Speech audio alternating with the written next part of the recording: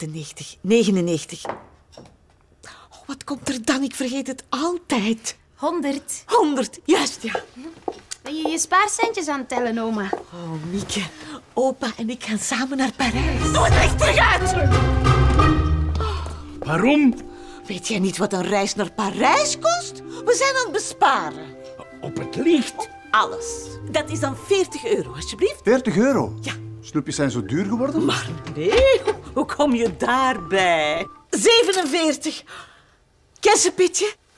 De prijs van het snoep verhogen, dat was een zeer goed idee. We hebben genoeg geld om de reis te betalen. Paris, here we come.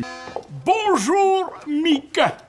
Hebben jullie een feestje? Ah, het is goedkoper om Parijs naar hier te halen dan zelf naar Parijs te gaan.